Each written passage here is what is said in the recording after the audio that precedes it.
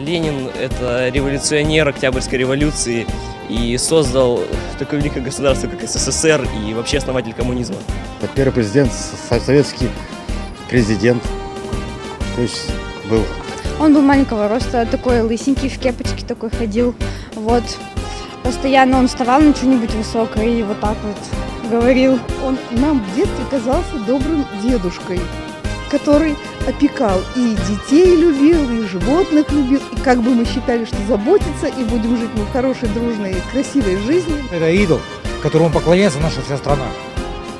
Просто дьявол всего лишь. Уничтожил христианство, понимаете. Он, он обманул народ. Сказал, что христианам землю, на самом деле показал фигушку. Кто-то его ругает, кто-то его хвалит, коммунисты его любят. Спасибо, наверное, ему, мы были пионерами в свое время. Главное помнить и донести это до наших детей, потому что сейчас немножко они ну, не знают, просто увлекаются гаджетами. Пра- Правил, когда вот война была в 42 году. Он был главнокомандующим. Кроме того, что его памятник стоит у нас на площади, он известен очень. Шалаше он жил давным-давно, потом, потом революцию забахал. Там замес случился, гражданская война, все вот это вот.